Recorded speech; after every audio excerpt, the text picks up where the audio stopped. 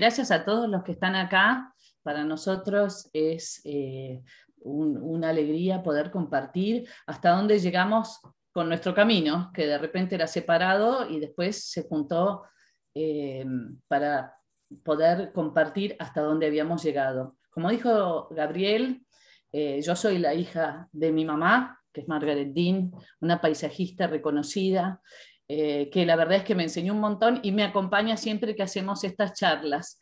Lo que me gustaría contarles a modo anecdótico es que en realidad los caminos muchas veces parecen de una sola forma y siempre hay algo que nos hace doblar. Y en mi caso fue conocer a un paisajista inglés que tenía una visión que era muchísimo más amplia que solamente la parte ornamental de para qué servía el paisajismo.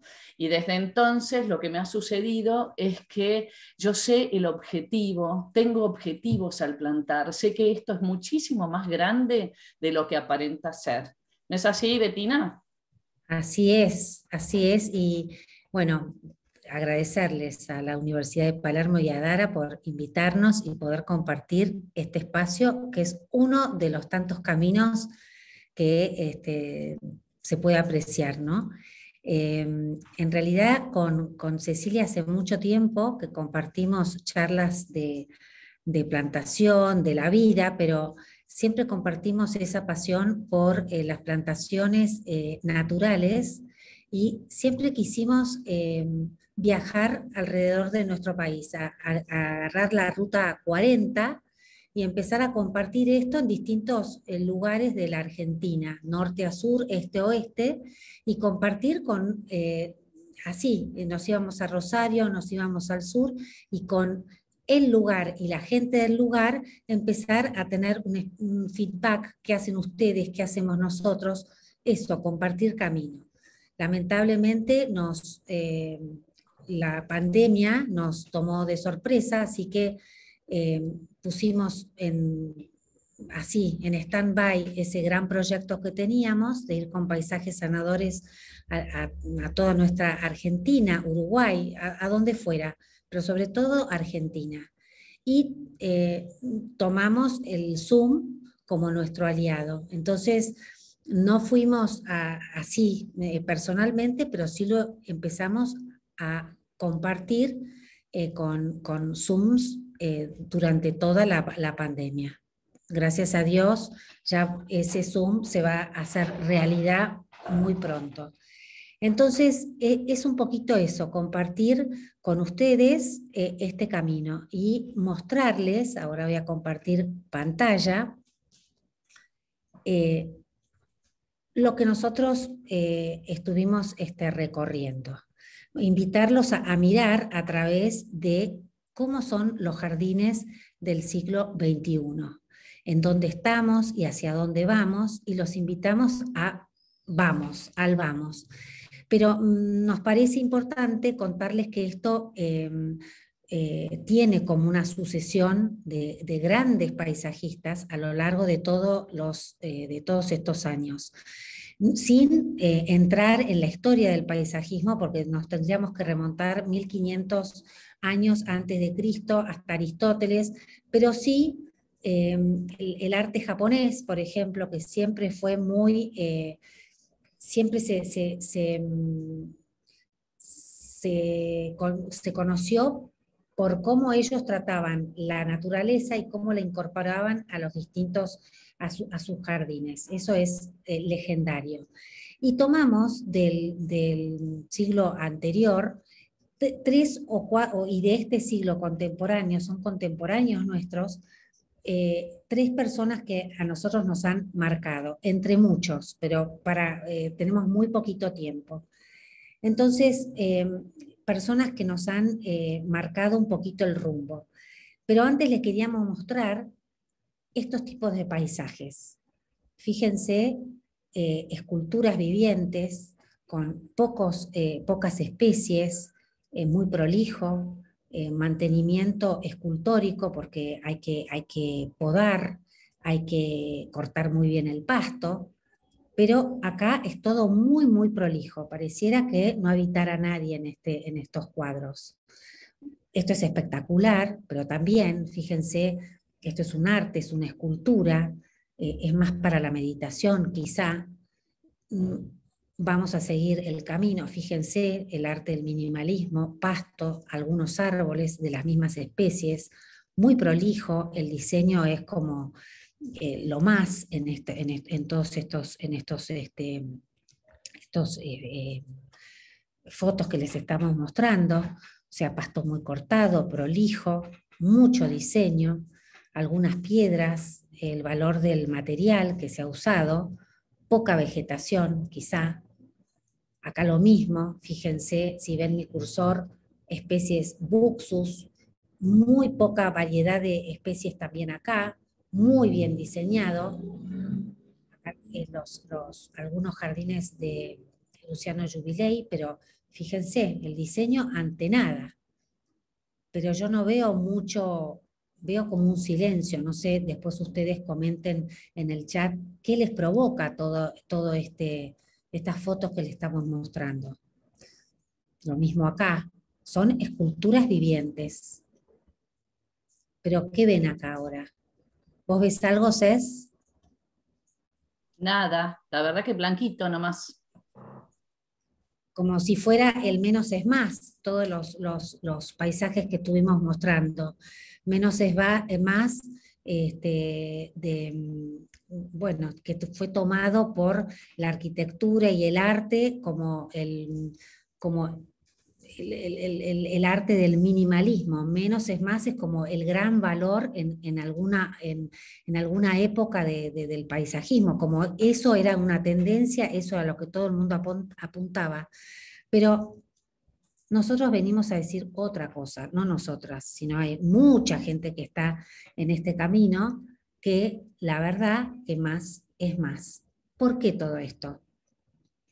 Hay una, como les dije antes, hay tres personas, pero son mucho más, es un movimiento muy grande que apareció en los, al principio de, siglo, y eh, una de las madres es Min Rice, que era una holandesa arquitecta que es una precursora del, de los nuevos perennialistas, que ellos consideraban que el paisaje no era solamente el, diseño, sino que además abarcaba muchísimos estratos. Empezaban a incorporar plantas silvestres, empezaban a evocar un poco la naturaleza, empezaron a dar valor a los yuyos, como se dice, del, campo, eh, empezaron a eh, se conciliar, era un grupo de, artistas que venían de de distintas artes, venían de la pintura, de la música. Estos son los, eh, son los, los, planos que hacía Min Rice a principio de, siglo. Eh, es una holandesa que eh, estos son sus, sus, jardines, sus diseños, que como verán, hay muchísimas más variedades de plantas que lo que al principio mostré. Estos son sus planos, era una vanguardista, y este es un jardín de los 25 jardines que ella legó, que dejó un legado de 25 jardines que eran jardines experimentales, donde ella, además de eh, conectarse con, la naturaleza, los insectos, las, bueno, eh, se, conectaba con gente eh, que venía del, área de, la ecología. Esto es uno de los jardines donde ella experimentó un montón, se pueden ir a ver estos jardines, pero ella fue como la madre del naturalismo. Otra mujer que es increíble, que murió hace tres o cuatro años, que es Beth Chato, que se dice que es la primera ecologista, una de las primeras ecologistas en los jardines, donde su lema era la planta correcta en el lugar correcto. Ella trabajaba con, la, con el límite, no trataba de... Em, eh, pelearse con su entorno. Este es un, jardín que nadie quería ese jardín porque la tierra no era buena, el lugar geográfico no era bueno, las, bueno, había un montón de eh, limitaciones en el jardín. Y ella lo que hizo fue justamente trabajar con las limitaciones y pudo lograr a lo largo de 60, 70 años un lugar así, Esto era el antes y esto era el después. Eh, es una de las primeras ecologistas, como dije antes, porque trabaja sobre todo con la planta en el, la planta correcta en el lugar correcto, no como eh, por ahí eh, se veía en años anteriores, que se traían plantas de todas partes y caprichosamente las ponían o las plantaban en un lugar por el hecho de tenerlas y en realidad la planta ahí no estaba contenta, era un, trabajo imponente en mantener eh, esos jardines que no eran propicios para el lugar. O sea, lo que queremos decir es que en estos momentos se trata de trabajar con el sitio, con la naturaleza. La naturaleza es nuestra aliada. Estos son los grupos, el grupo este de los nuevos perennialistas, acá está Pete Udolf, que es uno de los eh, voceros y los que mm, han dado a conocer más fuertemente este movimiento. Muy interesante. Acá está Beth Chato y acá están Min Rice, entre otros. Eh, se habla de la quinta estación, entonces eh, hay valores que antes no se usaban, por ejemplo, en jardinería lo propio era quizá eh, cortar todo lo que está seco, lo, marrón es muerto y en realidad ahora es no, las plantas tienen su ciclo, esto seco que antes se cortaba o se podaba, ahora puede ser una linda estructura, para, para, para, para, el diseño. Esto es vida, el color marrón es un color. Esto además de ser bellísimo, eh, es, eh, funciona a lo mejor como eh, hotel de insectos, por ejemplo. Entonces hay valores que se van, como, van cambiando. ¿Por qué? Porque ya los jardines no son más ornamentales. Los jardines, además de ornamentales, son funcionales porque somos parte de un todo, nosotros y la naturaleza, la naturaleza y nosotros. Se une, se fusiona, se hace un buen blend entre lo que es la, eh, todo lo que es ornamental y la ecología. Eh, no podemos no nombrar a Burle Marx. Burle Marx dio eh, identidad a Brasil con todos sus jardines y empezó a usar las plantas nativas de Brasil cuando en el siglo anterior, a lo mejor Brasil eh, tenía jardines eh, franceses y el clima de, Brasil no tiene nada que ver con Francia. Es tropical, las hojas son tropicales, o sea que fue un momento increíble donde Burle Marx se unió con distintos, con Costa, con, cuando se empezó eh, todo el, la todo el desarrollo de las distintas ciudades con, eh, con Brasilia, o sea, se unió a grandes grupos de arquitectos y juntos hacían equipos, que eso fue lo que eh, fue una bomba este, increíble y una identidad eh, que no se puede... No, no, pasa desapercibido. Brasil es Brasil con toda su identidad, con su forma, con sus colores y con estos jardines. Después de, de, Burle Marx vinieron un montón de alumnos como Fernando Chasel, María Rosa Clías, que siguieron la línea y, eh, bueno, son jardines bellísimos para ser vistos. Esto es el sitio de, de, Burle Marx. Entonces, hubo un gran cambio de paradigmas en, en, en todo lo que es los jardines del siglo XXI. Es una manera de plantar que trasciende los estilos y su valor va más allá del ornamental. Se trabaja con el, con el, lugar, con el sitio, se trata de crear hábitats para incrementar la biodiversidad. Entonces, dando, dando lugares para que los distintos habitantes puedan vivir. Y los distintos habitantes son insectos, plantas, un montón de plantas y, insectos subterráneos, que con todos los, em, todos los eh, movimientos, todos los, este, cuando se hacen, cuando se hacen grandes eh, emprendimientos inmobiliarios, muchas veces no se tiene en cuenta de la cantidad de eh, hábitats que se destruyen y no se suplantan para nada. Entonces, está bueno empezar a crear jardines, crear proyectos inmobiliarios, hacer grandes este, eh, equipos entre arquitectos, ingenieros, paisajistas, paisajistas biólogos, este, y hacer grandes equipos para poder todos trabajar eh, en pos de la naturaleza que grandes daños eh, le hemos hecho. Eh, ella no nos necesita y ella va a seguir este, subsistiendo, pero eso va a llevar mucho tiempo. Cuanto más conciencia tomemos de todos los cambios que tenemos que hacer, más, este, eh, más le vamos a colaborar. Entonces hay conexiones muy vitales entre los hombres, las plantas, los animales y todo el mundo que los rodea. Entonces, es promover vida en todos los estratos, desde abajo de la tierra, lo que no se ve, las raíces y todo lo que se ve, todo lo que podemos ver, trabajando con ella. ¿Por qué? Porque eh, si nosotros vemos ahora, y sobre todo, yo creo que a partir de, los dos años que han eh, pasado y lo que, estamos transitando, no somos los mismos. Y yo creo que eh, es, es, más evidente. Todo lo que nosotros hacemos al, planeta, a todos los cultivos o a todos los emprendimientos inmobiliarios de arrasar con todo y no tener en cuenta todo lo que nos rodea, en verdad nos repercute a nosotros también. Mire la cantidad de biodiversidad que hay acá, en armonía, en comunión, en equilibrio. ¿Por qué? Porque todo lo que pasa afuera pasa adentro. Esto es lo que, lo que tenemos nosotros en nuestro organismo, la llamada eh, microbiota.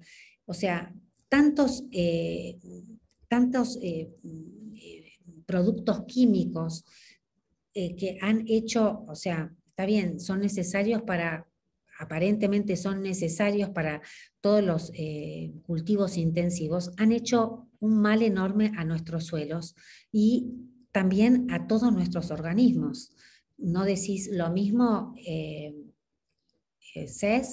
Acá hay una frase que me encanta, que es, que nos encanta, que es, nuestros cuerpos son nuestros jardines, nuestras voluntades son nuestros jardineros.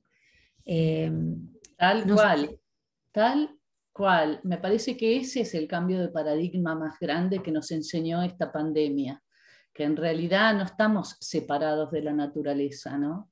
que somos parte de la naturaleza y que no estamos ni arriba ni para decirle cómo hacer, sino comprender que nosotros sí somos parte de ella y que eso sí cambia la forma en la que nosotros podemos promover de ahora en más cómo nos vamos a juntar con ella. Hay una parte que es importante entender que tiene que ver con que el diseño perfecto ya no alcanza.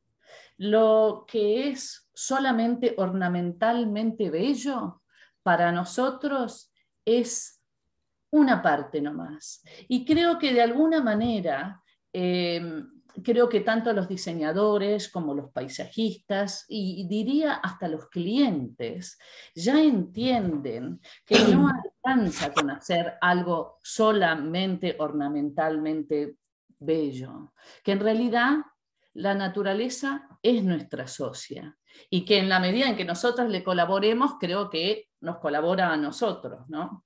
Ahora, como decía Betina, esto no viene de ahora, ni somos nosotras las dueñas de o inventar un nuevo camino, más bien el camino estaba. Lo que sucede es que de alguna manera eh, el valor del diseño se comió a la profundidad de con quién estábamos trabajando. El dibujo fue más que lo que estábamos haciendo. Y esto, un poco decimos nosotros, no es una moda, no es una moda para hacer eh, pastizales y praderas, que parece que solamente para eso, sino que en realidad tiene que ver con otra cosa y tiene que ver con volver a mirar. ¿Volver a mirar qué? volver a mirar estos hábitats de los que hablaba Betina y usar esos hábitats como inspiración, pero como inspiración aprendiendo de cómo esos hábitats se formaron para ser para nosotros lo que llamamos hábitats inspiradores. Y entonces tal vez si buscamos la inspiración en la pradera, que siempre crece en suelos pobres y no tanto en suelos ricos como los de la pampa húmeda, lo que vamos a evocar es esta sensación de frescura, donde están las mariposas, los insectos, vienen miles de pájaros y claramente nosotros ahí tenemos esta sensación de ser parte de la naturaleza. Pero si tomamos también la inspiración en la estepa, que también crece en suelos pobres, pero lo notable para nuestra experiencia es que también crecen en sustratos muy chicos, lo que nos da es otro tipo de plantación y otra orientación para el diseño, ya que las, plantaciones son más separadas, más aireadas, en donde la importancia está tal vez más en el cambio de color y mucho valor en la textura. Esta inspiración es espectacular para terrazas y techos verdes de zonas urbanas. También, por supuesto, que a los que vivimos en la pampa húmeda, la inspiración en el pastizal fértil es algo muy relativo a nosotros. Y entonces ahí sí tenemos especies mucho más altas que nos van a cobijar de alguna manera, en donde las gramíneas se vuelven mucho más preponderantes y que es un lugar maravilloso para atraer, multiplicar y tal vez volver a insertar pájaros y demás vida silvestre. Hay una, una inspiración en la yunga que es muy importante hoy, que si tomamos a la moda como, como parámetro, en donde se buscan hacer más diseños que tienen que ver con la selva urbana, en donde tenemos plantas de hojas grandes, brillantes, que evocan ese, tipo de frescura, que podemos hasta de alguna manera oler y sentir ese olor a tierra y humedad que tiene el trópico. Es muy importante este tipo de inspiración para lograr plantaciones buenas en las ciudades, porque en realidad nosotros tenemos mucha eh, sombra proyectada por los edificios, por ejemplo. Y después hay una inspiración que me parece importante porque siempre hablamos del sol y hablamos de la sombra, pero están estos otros lugares que son los lugares que tienen la luz filtrada, la luz a través de los árboles, que logran hacer plantaciones en forma de alfombra, que muchas veces tienen menos especies, pero no menos impactantes, y logran gestionar espacios que son buenos para, bueno, para yoga, para reflexionar, como esos jardines secretos o lugares para atravesar. Son muy interesantes mirar estas inspiraciones. Depende lo que vemos que el lugar necesita o que nos llama. Por supuesto está la inspiración en el humedal y lo que trae la inspiración en el humedal es el agua, por supuesto. Y el agua trae una fauna muy, muy diversa. Y algo que me parece que es importante también, que tiene que ver con que los reflejos y el movimiento del agua, al ser cambiante, traen, bien trae otra cosa a esta sensación del nuevo paisajismo y que tiene que ver con em, que, que el movimiento también es parte de lo que estamos haciendo, que no es estático y que por supuesto que nosotros estamos trabajando de alguna manera para ver a dónde vamos, a dónde vamos a ir, qué es lo que vamos a hacer, de qué forma, porque ya no nos alcanza con que sea solamente lindo arriba, o tampoco nos alcanza que sea solamente biodiverso arriba. Hoy entendemos que lo que pasa debajo, o sea, en el suelo, es tan importante como lo que pasa arriba y que lo que nosotros necesitamos hacer es cerrar el círculo con la información que tenemos y mirar estos espacios para poder darle a ese espacio lo que necesita, teniendo de alguna manera un objetivo más grande que tiene que ver con qué es lo que yo como diseñador le puedo aportar para mejorar lo que sucede. Y es de esta manera, de alguna manera, que nosotros tenemos terrazas como jardines, tenemos, aunque tenemos terrazas con diseños muy claros, es la biodiversidad de la plantación lo que hace interesante a los diseños. Tenemos espacios que en realidad lo que tienen es un trabajo además de reutilizarse. Por ejemplo, en los edificios, en vez de tener terrazas vacías, se les devuelve la capacidad de poder refiltrar el agua o reconducirla y también al mismo tiempo crear lugares para estar. O con este criterio de la idea de la yunga, crear espacios íntimos en lugares muy pequeños, pero de gran valor reflexivo para las personas que lo habitan, como los techos verdes, que no solamente se ven lindos, sino que además son fuente y recurso de una biodiversidad no solamente importante, sino tremendamente necesaria y que con muy poco podemos hacer. Lo vemos en proyectos como en Milán, en el Bosco Verticales, que en realidad lo que se trató de hacer es hacer edificios que están rodeados de la naturaleza, no solamente en el piso que te toca en suerte el balcón, sino que trasciende los pisos. Se ven cómo la naturaleza, en este caso los árboles, van pasando de un espacio a otro espacio. Y lo que hacen en realidad es rodear el lugar, pero también trabajar para bajar la polución y darle a las personas que habitan ese lugar esta sensación de no estoy tan alejado de la naturaleza. En otros lugares, como en Chicago, en el Lurie eh, Garden, que está en el Millennium Park, diseñado por Piet Udolf, eh, desde arriba se ve como un cuadro y en realidad está construido en, eh, sobre un estacionamiento. Y lo que se ve desde arriba es un diseño que va cambiando a lo largo de las estaciones. Así como decía Betina, la quinta estación, o sea, el momento en donde las plantas descansan, duermen, se vuelven importantes, se vuelven tan parte del diseño como el diseño que nosotros creemos que es el mejor momento, que es la primavera y el verano.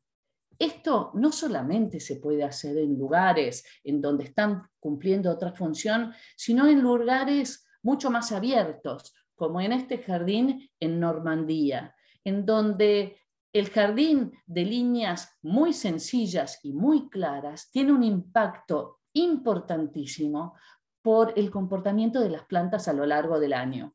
Y es así como vemos que las gramíneas, en este caso, están cobijando la pileta durante el verano y dan una imagen absolutamente diferente en el invierno.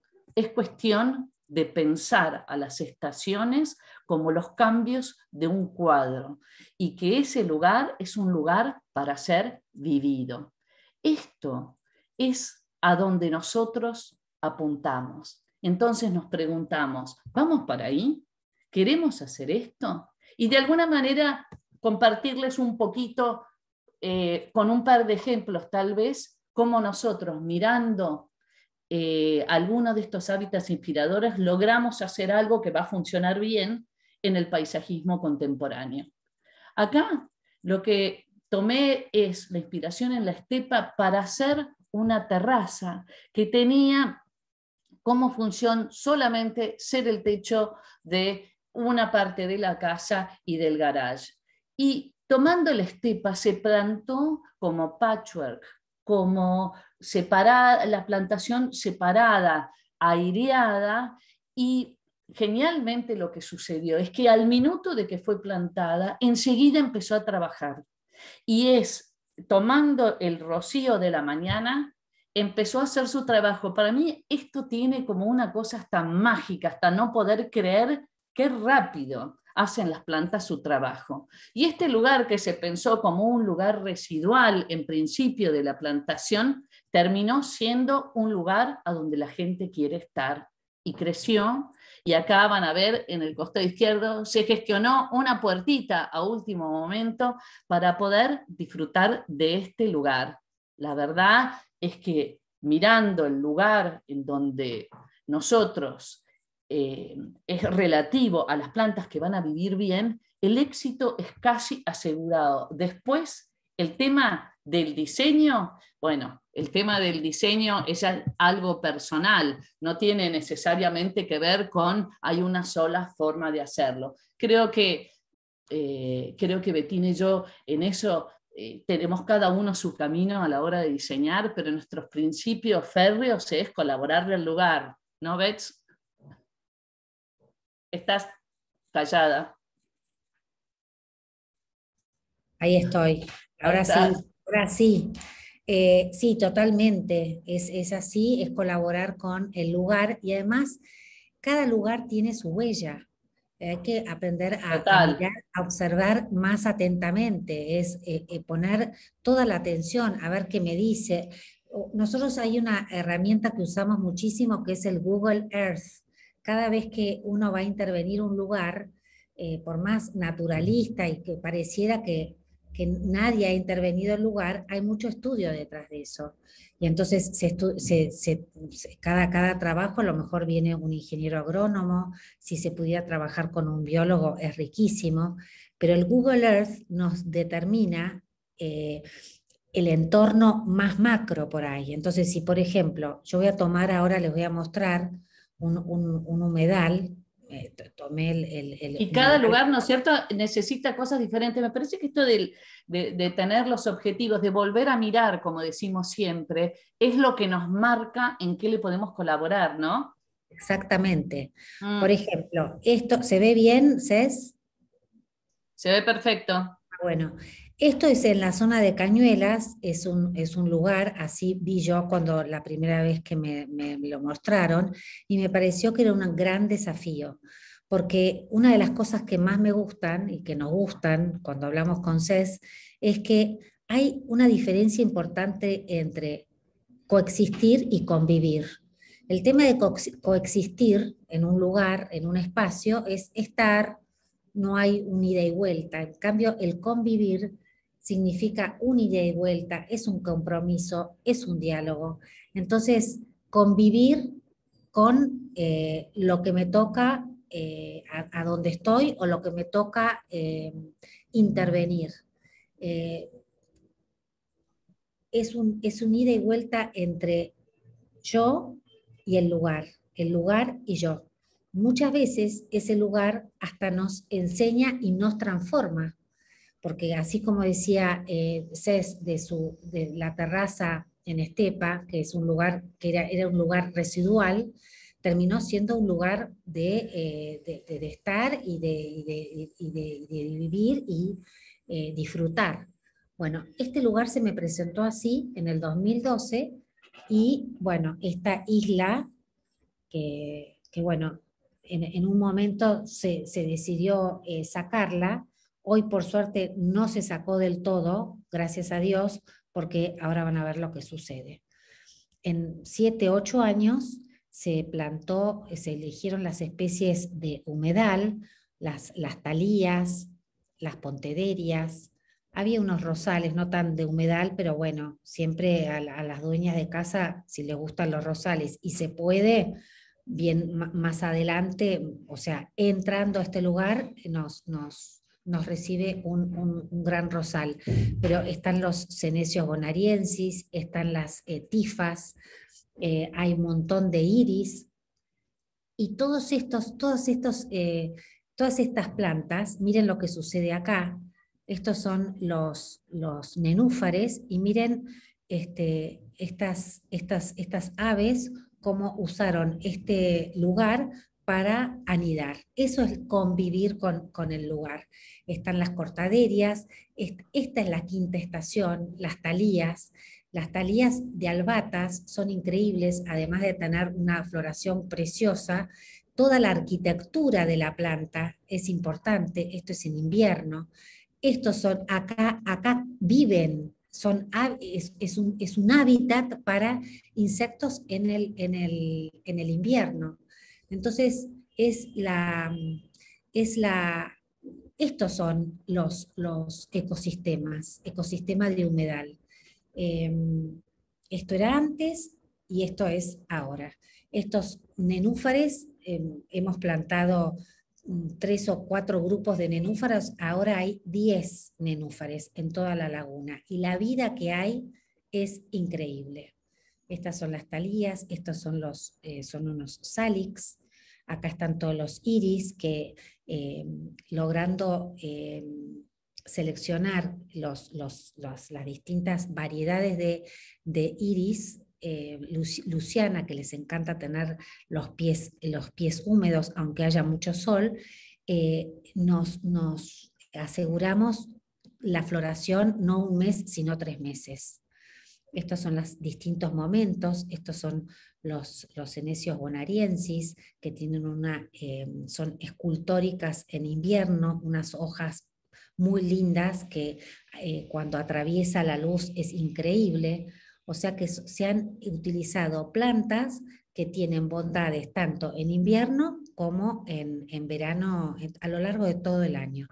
Acá, acá, miren, acá, acá hay moscas, mariposas, hay, eh, es, una, es una panamericana em, en el horario pico de las 5 o 7 de la tarde, la cantidad de sonidos que hay. Estos son los distintos momentos de, esta, eh, de, esta, de, este, de este humedal en Cañuelas.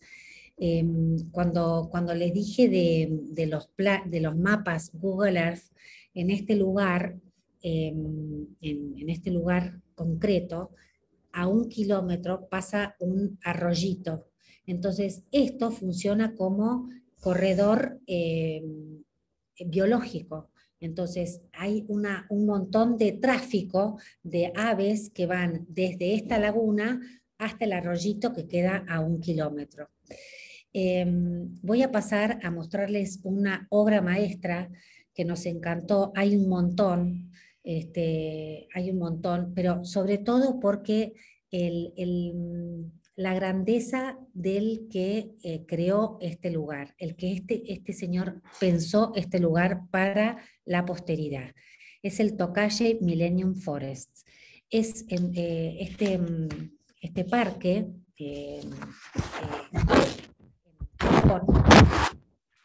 el lugar fue, es extraordinario porque está como, como liderado por eh, esa, esa eh, tradicional respeto que tiene Japón por la naturaleza. Y hay una, eh, un maestro en la plantación que hizo un gran, gran equipo. Es una plantación más bien ecológica, porque todo lo que pasa en ese parque o sea, tiene que eh, realimentarse, o sea, se tiene que, eh, está pensado como em, ser como sustentable en el tiempo, en mil años. O sea, este es un proyecto a mil años, los que están escuchando, por eso le, em, le cambiaron el nombre. Eh, Tokashi Millennium Forest. Es, está muy, está en, en, en Japón, como les dije, y su dueño se llama Hiyashi, que es un señor, un, em, empresario de, em, que se dedicaba a producir eh, diarios. Entonces, eh, en realidad lo que él quiso hacer, eh, compró este terreno en el 1990, son 250 hectáreas, y la idea era compensar la huella de carbono de su empresa de periódicos. Entonces, la idea es, con este, con este parque, atraer a la gente a conectarse con la naturaleza. Y este parque, lo vamos a ir viendo, fue diseñado primero por eh, otro paisajista que era, em, ahora me va a salir el nombre, cada vez que trato de acordarme, lo, no, lo, no, me acuerdo. Dan Pearson. No, no, no, ese, mm. ese fue el segundo. Dan Pearson ah. fue lo llamaron, era un japonés que empezó y después en el 2000 lo llamaron a, a, Dan Pearson para que diseñara toda la parte de las, las, herbáceas, porque él tiene un conocimiento vegetal ecológico de, eh, de, las, de, las herbáceas que él diseña. Sí, genial. Van a, van a ver distintas áreas, pero fíjense todo, este, eh, todo el, el, proyecto que tiene a lo largo del tiempo, cómo, cómo, cómo piensan en más allá, no en el aquí y ahora, sino en el futuro. Eh, la, gran idea es traer a la gente a que se conecte con la naturaleza. Em, se lo llama como un parque público ecológico, ¿no? Em, y bueno, por ejemplo, hay una entrada en el, parque que es, eh, eh, es, un, es un monte, es un forest, es un, no, es un monte, es un, ay, eh, Ceci, es un bosque. sí, estaba apagado. Este, la idea de ellos, vieron que los, los, los, japoneses hacen baños de bosque, que son una de las técnicas muy, muy sanadoras. Eso fue la idea de ellos también, de llevarlos a la naturaleza, llevarlos al monte, llevarlos al, al, a las lagunas, llevarlos a em, em, son, son espacios muy, muy grandes de, de, césped y de montañas gigantes que hacen como eh, evocan lo que ellos ven de estos, todos estos, estos este, sierras que ellos, estos, todos estos montes montañosos, digamos, ellos lo evocan. Esto es una de las cosas que hizo Jan Pearson, porque toman el, el, el, paisaje prestado, es lo que ellos llaman el shakei, es el, paisaje prestado, entonces lo evocan con grandes eh, montañas y montículos de, césped, donde los chicos pueden correr, donde pueden este, andar en estos triciclos, también tienen una huerta. Fíjense la cantidad de herbáceas que tienen. Han utilizado eh, una, mezcla, un blend de 19 eh, hierbas eh, herbáceas nativas y es increíble cómo Jan Pearson con un patrón, o sea, utiliza un patrón y lo va repitiendo a lo largo de todos estos espacios. esto es un perfecto parque naturalista. Que tiene, que tiene mantenimiento, sí, lo mantiene una mujer que se llama Midori, que es eh, la head gardener de este, de este espacio, conoce muchísimo todo lo que es botánica y es una fusión perfecta entre el oriente y el occidente, entre los diálogos entre Dan Pearson y eh, Midori. Miren las, las, texturas, estos son los montículos que les, iba, eh, les, les, contaba recién, esto es por donde empezó Jan Pearson, son, son eh, esculturas. Esto es uno de los parques. Miren la densidad de, eh, de toda la plantación. No hay tierra, no, hay, no se ve el, suelo. Eh, hay capas sobre capas sobre capas. Esa es la nueva plantación que la hemos tomado también de la agricultura porque los agricultores empezaron con los cover crops, con las, eh, con las plantaciones de cobertura para cuidar el suelo y el suelo no se erosione y siga habiendo vida. Imagínense la cantidad de bichitos y la cantidad de lombrices y la cantidad de, de, seres hongos que, que podemos encontrar eh, abajo de, estos, de, estas plantaciones. Hay un grupo enorme, métanse en la página. Si tengo tiempo ahora les voy a pasar por el chat eh, un video para que lo puedan ver hoy en sus casas, porque es increíble hasta la comunidad y el respeto que tienen por este lugar. ¿No ven? Acá, acá están las, acá están las, las aguas, este, caminos, arroyos, todo esto es plantado. Fíjense, fíjense, estos son como, este, em, em, ¿cómo se dice? Eh, no. Em, ay, bueno, ¿cómo se dice? Esqueletos vivientes, esqueletos vivientes. Acá hay cualquier cantidad de musgos, bichitos. Fíjense lo que es esto. Portal Jan Pearson. Todos estos caminos, los, los materiales que utilizan esto es un gran diseño. hace 20 años, y ahora han sacado un libro, que el, hace 20 años que se hizo esto un poquito más, y funciona. Este jardín funciona. Fíjense, fíjense los materiales que ha usado, la roca. Bueno, esto es eh, trabajar con la naturaleza y no me sale el nombre del paisajista, el primer paisajista. Ya voy a, voy a, ya me va a salir. Ya te va a salir. Lo que queda claro es que cuando empezamos a mirar alrededor, en realidad el alrededor nos devuelve 100 veces más de lo que nosotros les podemos colaborar que eso creo que es una de las cosas más maravillosas que tenemos, ¿no? Creo que había una parte en donde en realidad la naturaleza había que, eh, había que educarla, había que hacerla como nosotros la queríamos y en realidad perdíamos todas esas batallas, me parece. En realidad lo que nosotros necesitábamos es unirnos con ella, porque es multiplicador, porque mientras vos mostrabas esas fotos del Tocachi, yo pensaba lo que debe ser estar ahí adentro, ¿no? Como esta sensación de atravesar eso. Mira en un solo lugar todos los lugares que atravesaste. A mí me resulta, ¿no? Son, 250 hectáreas. Gracias a Virginia Tacano, Tacano Planning fue el primer paisajista que, eh, que el dueño de este lugar, Hiyashi, llamó.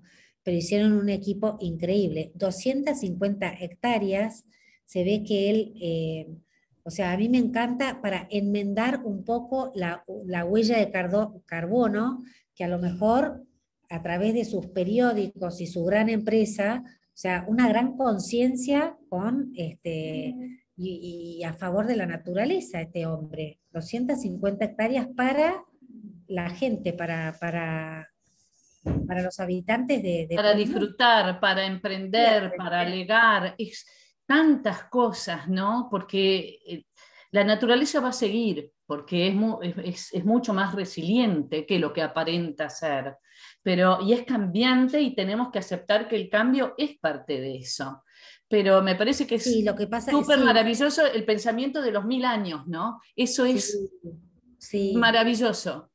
Bueno, una de las cosas que, que, me encanta, que es así como los lugares dejan huella, los sitios dejan huella, los habitantes los, mm, también dejan huella. Este hombre va a dejar huella. Total. Eh, mm. es, es, una ofrenda, es un dar, es un eh, volver a dar. Eh, no sé, me parece como lo, lo, pusimos acá a, Takashi porque además de ser precioso, me parece que tiene, encierra valores muy, muy, muy altos, Total, a mí me parece que es eso. Yo creo que también muchas veces hablamos de esto, ¿no? Cómo, eh, de repente cuando alguien quiere o relajarse eh, o sentirse mejor, remite a la naturaleza. Y por alguna razón, eso, eh, porque la vida era más vertiginosa, porque los ojos estaban puestos en algún otro lado, es como que quedó de lado ese valor. Eh, y la verdad es que creo que todos nosotros, si recordamos nuestra infancia, yo no sé si tenemos la imagen de la, infancia, pero sí tenemos los perfumes. Y sí. recordamos el calor debajo de los pinos o, o, o, la arena o el sonido arriba de la nieve. Digo, son todas cosas que nos remiten a un ser interior nuestro que solamente regocija. Es por eso que tenemos que cuidarlo, ¿no? Sí, además eh, no importa la escala, o sea, puede ser... Son 250, hay gente que, que, ha donado a lo mejor 1800, no importa la cantidad, sino yo creo que es el espíritu por un metro cuadrado, no importa, eh, yo creo que son los valores que encierra eso, el donar, el ofrendar, el cuidar. Tal cual, y que además no solamente eso, sino bueno, eh, creo que hay otros, eh, que el paisajismo saliendo de lo bello y saliendo de esto que es transitar una cosa de la naturaleza maravillosa, también es restauración, ¿no? Y tenemos, nuevamente, estos son a modo de ejemplo nuestro, para decirle la variedad de las bondades con las que podemos colaborarle a la socia, que viene a ser la naturaleza. ¿no? Great to Green en la ciudad de Sheffield, en Inglaterra, es la red de retroalimentación de agua más grande del Reino Unido.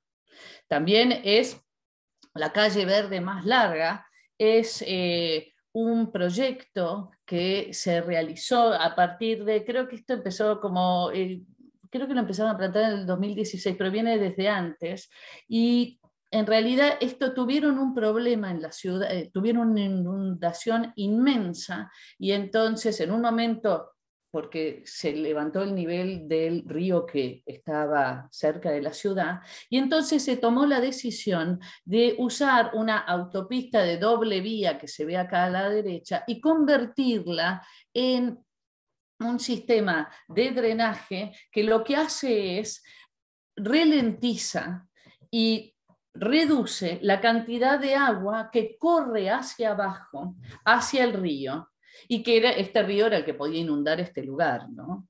Lo increíble de, este diseño fue que si bien estaba pensado para hacer una labor que tiene que ver con el drenaje de la ciudad, se convirtió en un verdadero eh, corredor biológico mientras funcionaba para la parte funcional. Y que además lo que sucedió empezó a crear espacios en donde la gente podía estar. Y los árboles que se plantaban también colaboraban con la polución y también bajaban la temperatura de las calles.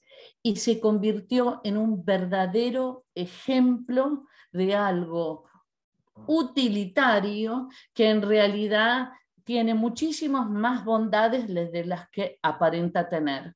Un, un copo, un poco, no un eh, como decía Betina, tiene que ver con esto de que había un objetivo en el lugar, pero el hecho, el hecho del paisajismo lo que hizo fue muchísimo más poderoso que resolver el problema que tenían, ya que se crearon estos espacios en donde la gente hoy cambia de ruta de caminar para atravesar estos lugares. Se volvieron verdaderos lugares maravillosos para estar. Y entonces acá podemos también decir, tenemos, tenemos el paisajismo, tenemos el objetivo, pero hay una cosa que remite también al tocachi, que tiene que ver con el well-being, con estar bien, con estar mejor, con conectarnos con algo que nos haga sentir bien con ese niño interior, ¿no? Y entonces podemos decir que eso tal vez es una parte de lo que atañe a nuestro paisajismo o de este camino que les queremos compartir.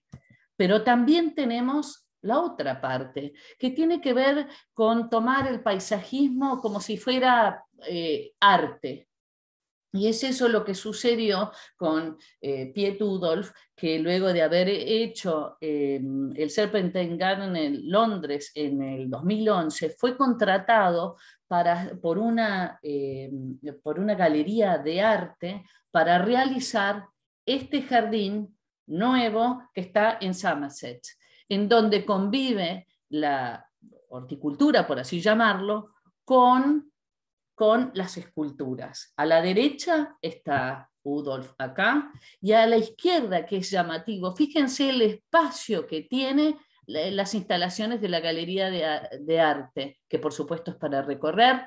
Fíjense el tamaño del estacionamiento y ahora fíjense el tamaño de la obra de arte de este paisajismo, que desde arriba se presenta como un cuadro casi indescriptible. Eh, la proporción que tienen acá para darse una idea del tamaño, estas son personas y esto es el diseño. El diseño está hecho de manera eh, eh, muy amplia, muy creativa, tiene estas zonas que parecen un patchwork de especies, tienen otras que parecen praderas y después tiene algunos espacios que remiten a las esculturas del lugar. Entonces, nosotros tenemos no solamente las esculturas del lugar que están en el espacio, también se trata de las texturas y de las formas y de cómo convive todo eso. Y tenemos verdaderos espacios maravillosos que lo que hace es reconforta el alma a medida que los vamos viendo y son espacios que se crean para que se vean a lo largo del año, que remiten a los colores, que depende para dónde miremos, es un cuadro diferente. Y acá me parece un ejemplo maravilloso en donde en el invierno hasta las, eh, la muestra de arte interior remitía lo que sucedía en el exterior. Es una convergencia del adentro con el afuera y de las sensaciones únicas que provocan atravesar estos lugares. El atravesar es lo que es importante y es lo que logran estos espacios que para la gente que vive en un lugar muy diferente, convive. Ya el arte no está metido adentro de un lugar, el arte salió a, ser incluido por el paisajismo y el paisajismo se, paisajismo se tomó como arte. Y es ahí a donde esto funciona, porque todos nosotros, de alguna u otra manera, queremos ser parte de esa naturaleza. Y entonces, lo que nosotros generalmente decimos es que para esto no hay recetas, que no es mágico y que claramente la conexión con la naturaleza sana. Y desde ya, muchísimas gracias por habernos dejado compartir este tiempo y esta parte del camino con todos ustedes. ¿Estás ahí, Beth? Sí, acá estoy. Acá les he compartido eh, las dos filmaciones que estaría lindísimo que las pudieran ver, porque si pueden verlo en una pantalla más grande que, la, que el teléfono, sería bárbaro, porque, bueno, son los jardines de Pete Rudolph y de eh, Jan Pearson. Em, qué lindo, se pasó muy rápido. Yo no, sí, veo preguntas. Eh, eh, como verán, nosotros, eh, la verdad es que siempre charlamos de esto y, y, la verdad es que lo que nos sale siempre es seguir conversando. Mira que hemos conversado 20 veces de esto. Sí, a mí me resultó, y hay más, y hay más, siempre hay más. Me, me resultó al principio, cuando estaba dando la charla, que era un compendio, viste, de los, de los influencers, que fue, fue como muy rápido, como para introducir en el tema, Espero que haya quedado claro y si no, bis. No, bueno, sí, por supuesto, lo que, lo que creo que nos encantaría compartir más allá de conceptos básicos es que uno no necesita ser un especialista para colaborarle a la naturaleza. No, tal cual. no necesitamos miles de kilómetros cuadrados para nada, que todo es multiplicador y que como de alguna manera lo que decías esto de la laguna de Cañuelas, eh, mira todo lo que se generó, nosotros sabemos que en muy poco espacio vos podés hacer un montón. Y que eso es el stepping stone con otra persona, que tal vez es el balcón del señor de al lado, que es el balcón del otro, que es la plaza del pueblo, que no sé qué, y al final tenés todo un corredor. Y ahí vamos con los corredores biológicos de entre, entre norte, sur, este, oeste. Sí, total, nuestro lema. En algún momento vamos a conectar todo el norte con el sur y así. Y sí, la naturaleza además une, porque no importa qué religión, qué partido, no importa, une, basta, ya está. Es, unión y es biodiversidad. Es lo que muchos de los, de, los, de los conceptos que utilizamos es para también para son de, la vida eh, eh, real, digamos. No estamos afuera, o sea, biodiversidad, riqueza, eh, unión, eh, respeto. Sí, y es, es creo que volver a sentir que nosotros somos naturaleza. Nosotros no estamos separados de eso. No, por eso, todo lo que vos, todo lo que uno hace, por eso hay tanto tema de la, bueno, de cada vez hay más alérgicos, cada vez hay más celíacos, cada vez hay, hay, hay todo un tema con eso, con los alimentos, con... Bueno, yo creo que hay una gran toma de conciencia, eso es la esperanza. Sí, la finitud, la finitud que nos enseñó tal vez esta pandemia nos hace conectar mejor a esto que creo que el mensaje para mí es que no está perdido nada que esto es el principio de un gran cambio posible y que nosotros podemos ser parte, ¿no?